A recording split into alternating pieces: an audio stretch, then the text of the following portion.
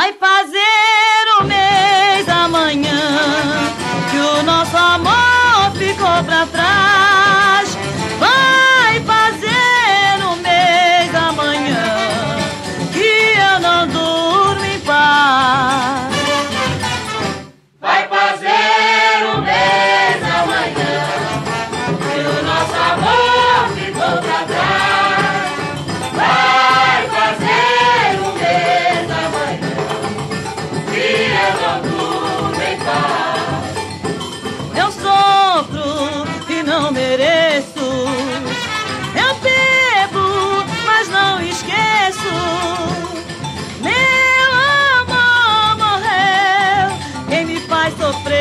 Just